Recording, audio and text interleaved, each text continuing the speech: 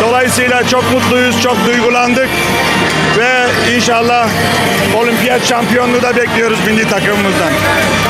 Sağ olun, çok teşekkür ederim.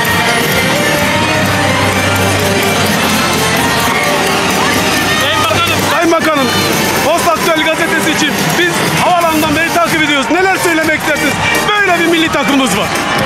Evet tebrik ediyoruz filenin sultanlarını. Ee, bu akşam savaştılar. Müthiş bir mücadele ortaya koydular. Geriden geldiler. İtalya maçında olduğu gibi savaşarak kazandılar. Tebrik ediyoruz. 85 milyon vatanımıza, milletimize hayırlı olsun. Ekranları başında takip edenlere müthiş bir mücadele. Tebrikler. Sayın Bakanım biz karşıdan gördük. Çok hırslıydınız, çok istekliydiniz. Yani gerçekten neler söylemek istersiniz bu konuyla ilgili? Bu kadar istek olur mu? Bütün seyirciyi tebrik ediyorum. Müthe- muhteşem seyirci. Avrupa'nın dört bir yanından gelenler, Belçika'dan gelenler. Bu vata- seyircilerimiz müthişti. Tebrik ediyoruz. Harika iş yaptılar. Tebrik ediyoruz. Teşekkürler. Sağ olun. Teşekkürler.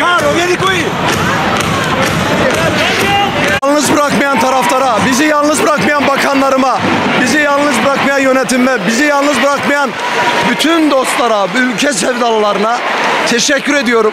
Bu ülkeye bu gururu yaşattığımız için bundan daha güzel bir şey olamaz diyorum. Tarih yazdık, tarih yazmayı hak ettik. Bu çocuklar hak ediyordu. Şimdi sırada bir olimpiyat kaldı. Tek eksiğimiz olimpiyat madalyası. Evet. İnşallah onu da bu takım onu da başaracak, onu da alacak. Evet Sayın Bakanım biz Avrupa'da yaşayan Türkler gerçekten böyle galibiyetlere, böyle zaferlere gerçekten çok hasretiz böyle. Yüreğinizden öpüyoruz. Çok teşekkür ediyoruz. İyi ki böyle bir milli takımımız var. Sağ olun. Çok teşekkür ediyorum. İyi ki varsınız. Sağ olun. Çok sağ olun. Kanal. Evet. Şampiyon olduk ve duygularını paylaş bizimle kızım. çok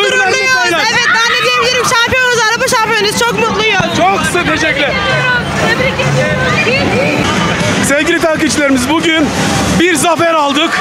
Hiç olmayan, müzemizde olmayan bir kupayı aldık. Sağ olsun yine Düsseldorf'tan, Duisburg'dan Ahmet Ünalan buradalar. Ee, duygularını bizimle paylaşsınlar.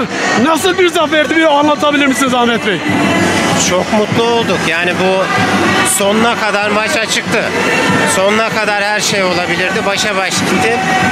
Ama çok büyük moral gösterdi bizim kızlar. Çok büyük bir moral gösterdi takımımız. Yani ben 3. sette açıkçası döndü. Onlarla yeni olacak gibi düşündüm ama her şeyle ortaya koydular ve çok güzel bir sonuca eriştiler.